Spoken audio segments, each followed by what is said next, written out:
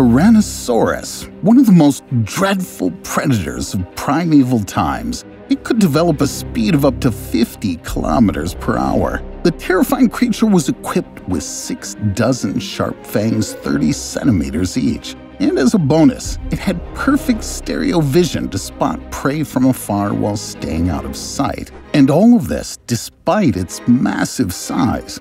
But what if I tell you all these adaptations of the famous Lizard King seem absolutely trivial compared to the evolutionary tricks of other less known creatures from deep antiquity? Let's do our own excavation to find out how a half reptile, half pig survived the most terrible cataclysm in Earth's history and probably even became humanity's forebearer. We'll also discover what other ancient monsters literally had razors for teeth. In short, what incredible animals of ancient times did you never know existed?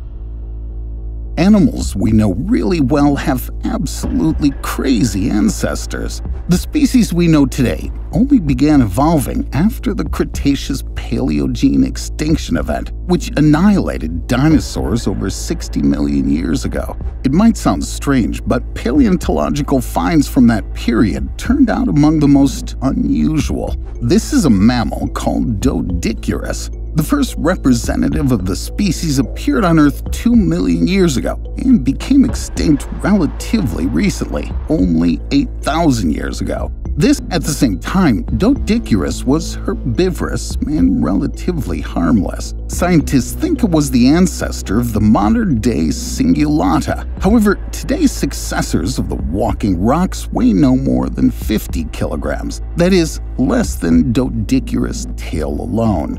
A similar thing happened to megatheriums, which were among the largest mammals ever living on Earth.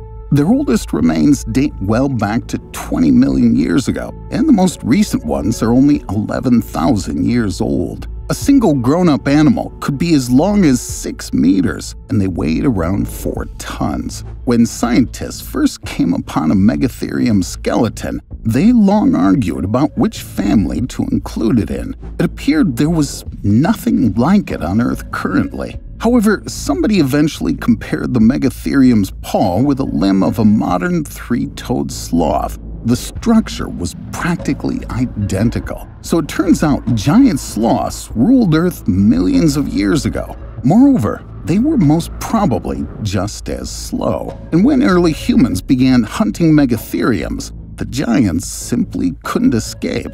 But there are other prehistoric monsters that could repel anyone feathered Gastornis, which prospered about 40 million years ago, wasn't much bigger than a modern day human. It was practically unmatched in bloodthirstiness. This bird could by itself easily deal with a large mammal, like a modern horse, let alone a smaller species. Gastornis' beak was so broad and powerful that it could cut its prey in half in a single movement. But instead of wings, Gastornis only had tiny underdeveloped limbs, which means flying was out of the question. Though the ancient bird's modern cousins, ostriches and kiwis, don't strive to conquer the heavens either, and aren't quite alright about it. The next prehistoric animal did reclaim a new environment. Ambulocetus lived about 50 million years ago and was among the first mammals that opted to live underwater. The extended streamlined body shape enabled it to move there fast, while its limbs resembled fins, which, however, ended with ordinary webbed fingers. That means Ambulocetus could easily walk whenever it wished, but at the sight of a predator, it literally sank to the bottom. Scientists believe those weird hybrids gave rise to whales and orcas. But unlike most of the other species, today's marine mammals exceed their ancestors in size, as Ambulocetus weighed only 500 kilograms, which is 200 times less than the blue whale. But the further we go back in Earth's history, the more unbelievable and at the same time less known beasts we can find there.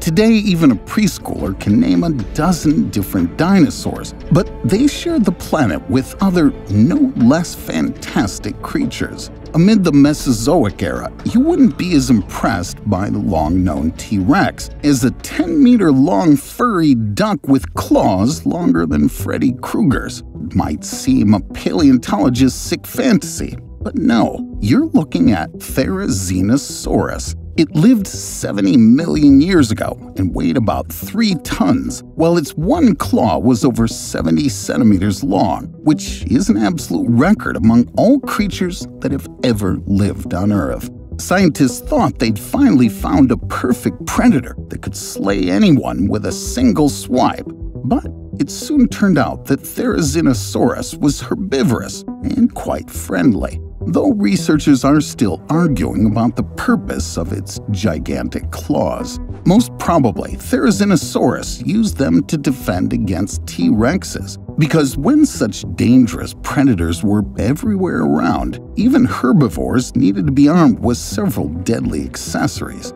However, seemingly cute and ridiculous animals may sometimes turn out to be much more bloodthirsty. Tanystropheus lived about 230 million years ago and could grow as long as 6 meters. It looked like someone attached a snake to a giant gecko's body. That is quite awkward, isn't it? Moreover, Tanystropheus couldn't normally control its long neck, as it only consisted of six vertebrae. For comparison, the neck of today's swan has 23 of them. At first, scientists were sure the clumsy Tanystropheus posed no threat to other species and only ate small fish. But analysis of its jaw structure proved the opposite.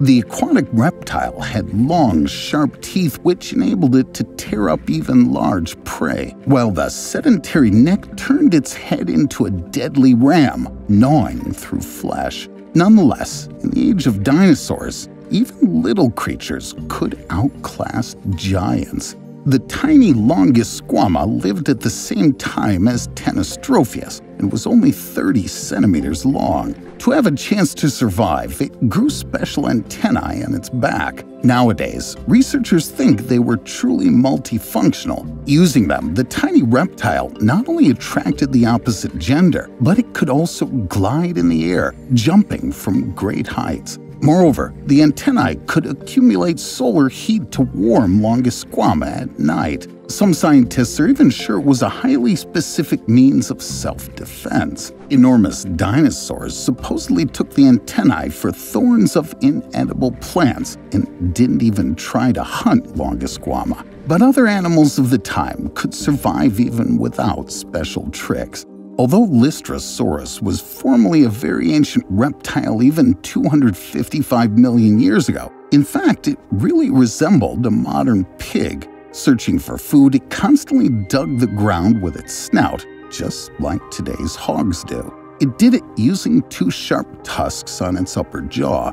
They helped the beast find the deepest roots. But the most interesting thing is that in the world of cold blooded dinosaurs, Lystrosaurus just like pigs, was warm blooded, belonged to the Therapsida group, an intermediary evolutionary link between ancient reptiles and mammals. Those animals not only learned to regulate their body temperature themselves, but also became the first viviparous creatures on our planet. Probably, it helped them survive the Permian Triassic mass extinction 251 million years ago is bearing offspring is much safer than laying eggs in a hostile environment. Most interestingly, other therapsids that evolved from Lystrosaurus are our ancestors as well. Do you feel the warm-blooded pig reptile's ancient power? Think of it while we're going deeper. What amazing animals dwelled on our planet before gigantic reptiles thronged it?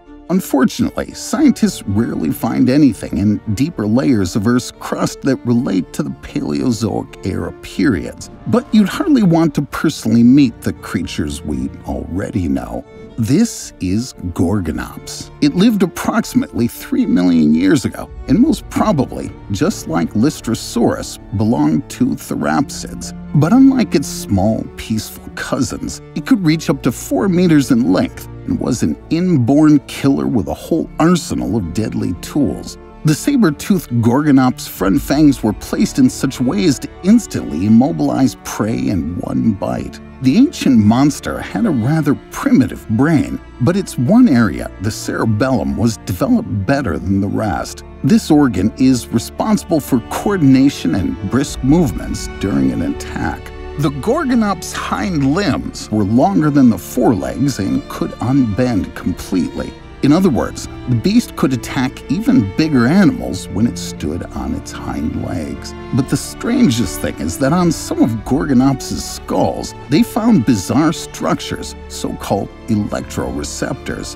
A similar thing is found in modern platypuses. The electroreceptors help them orient in water. It means Gorgonopses, if needed, could chase their prey underwater. It was virtually impossible to escape from the monster.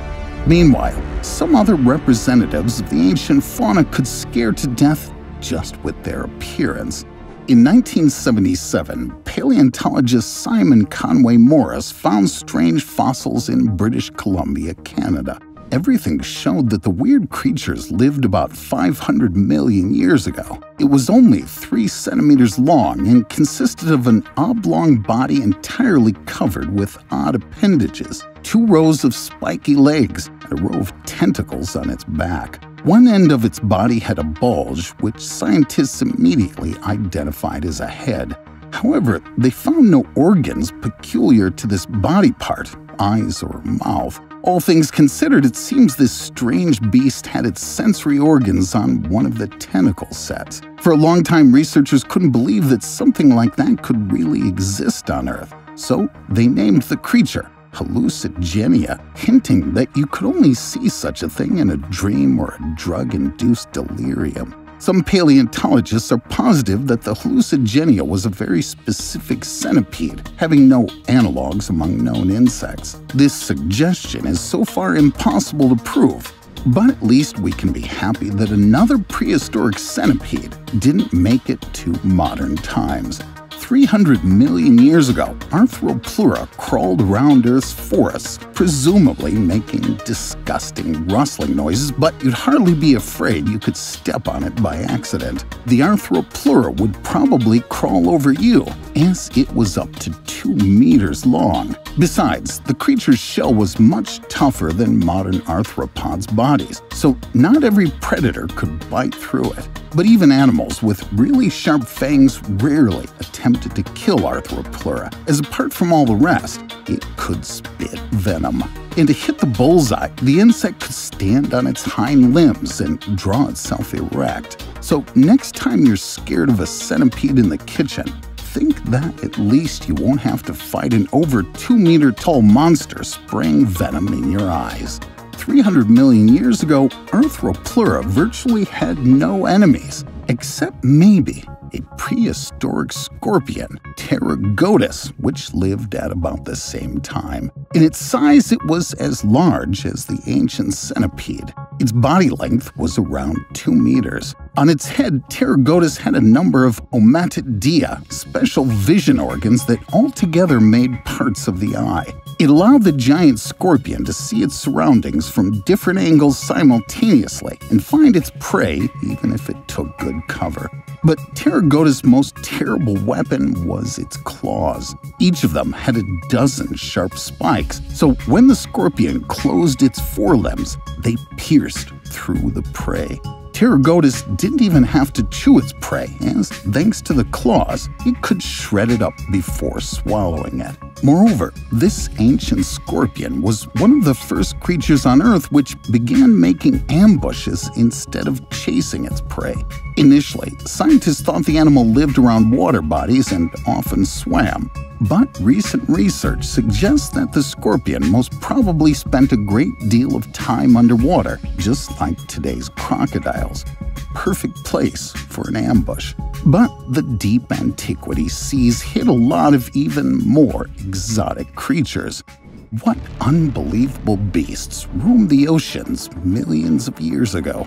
Among such was Helicoprion, which first emerged around 290 million years ago. It was something like a 10 meter long shark, but with an absolutely incredible jaw. Modern sharks shed old teeth, making space for new ones. Helicoprion never dropped its teeth. The new teeth simply replaced the old ones, moving them to the front, and they went spiral together with the jaw.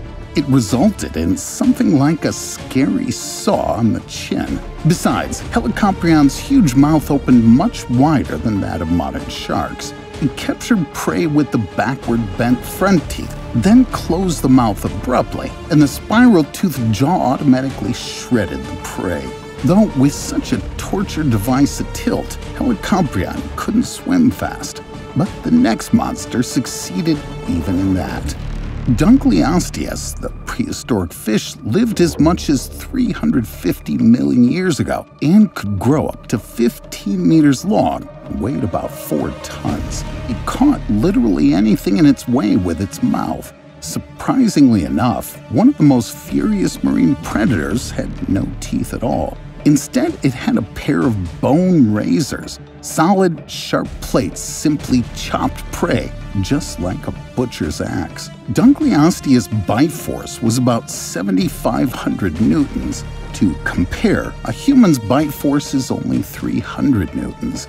But the most significant advantage the ancient monster had was its agility. Dunkleosteus could plow through the water at a speed of a small motorboat up to 40 kilometers per hour, and it took it only 20 milliseconds to open its mouth. You'd literally be dead in the blink of an eye. At high speed, the water flow dragged prey into the Dunkleosteus's mouth, so all it had to do was shut it. And this ancient fish was so aggressive that it often attacked its own kin. Numerous marks left by the typical bone razors on fossil Dunkleosteus prove it. But what about even more ancient exotic animals? Most of the fossils of more or less large creatures we found come from the Cambrian period, which began approximately 538 million years ago. The Precambrian era was long considered the period of unicellular organisms until one incredible discovery. In 1957, two schoolchildren climbing mountains in Charnwood, the UK, found strange imprints among rocks. The children invited researchers from the local university to look at the traces in the stone, but the scholars were skeptical. The region's rocks formed in the Precambrian era, and the scientists didn't expect to see anything interesting. How wrong they were. At closer inspection of the rocks, they found imprints of large plants which had been previously believed impossible. When the scientists began studying other Precambrian residues, they found many more mysterious fossils. This bizarre creature, Tribrachydium, lived 560 million years ago and had a unique, complex anatomy. It consisted of three segments, each ending with a tentacle. Its length could vary. Perhaps those creatures back then, in deep antiquity, developed sexual dimorphism, and females looked different from males. This find radically changed paleontologists' view of how life on our planet evolved. Now, they can't attribute Tribrachydium to any of the known animal groups, but this fascinating antique fauna also had bloodthirsty predators. In the mid 20th century, Australian geologist Reginald Sprigg found an odd fossil animal that was eventually named after him. Spriggina turned out even more ancient than Tribrachydium and had a characteristic shape that resembles an oval or an arrow. It had a soft body covered with tiny spikes and bulges. Spriggina was initially assigned to a group of mollusk like organisms, but later research revealed that its anatomy didn't match any of the existing animal groups. Moreover, cholesterol molecules were found in its fossils, which may indicate that Spriggina was a predator. The specific structure of its body plates can be another proof of it. Assuming that Spriggina participated in bloody fights, it could cause severe injuries to its opponents using its plates. So, even half a billion years ago, before the gigantic dinosaurs and other beasts appeared, you'd barely be able to walk safely on Earth. Nevertheless, some researchers of antiquity think we only see a part of the Precambrian picture of the world. They believe that Spriggina, Tribrachydium, and other finds from that period might only be fragments of other, more complex living beings that only left a partial imprint in stone. There's even a theory according to which we deal with the traces of real aliens that attempted to colonize Earth by bringing a zoo of beasts from the other world. But the most interesting thing is that owing to the acute lack of information about the Precambrian period, it's simply impossible to refute this theory scientifically. What about you? Do you think that the most unusual animals of the past could be visitors from space?